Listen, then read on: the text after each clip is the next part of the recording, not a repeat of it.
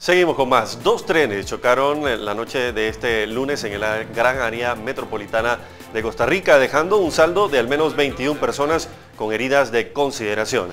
El accidente ocurrió en la localidad de Santo Domingo de Heredia. Cada tren transportaba alrededor de 200 personas. Hasta el momento se desconocen las causas, aunque las autoridades presumen que se trató de un error humano, toda vez que los trenes en Costa Rica brindan el servicio en una sola línea, por lo que deben coordinar por qué uno de los dos cogió una zona de desvío momentáneo por una segunda línea y evitar no toparse de frente.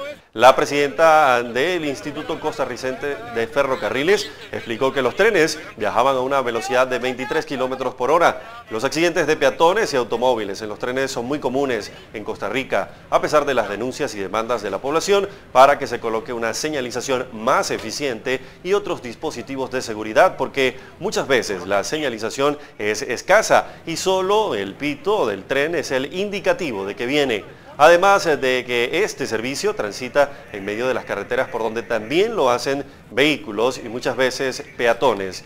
El eh, parte oficial del accidente de este lunes en la noche es de 18 personas reportadas en condición amarilla, 20 en verde y 2 en condición delicada.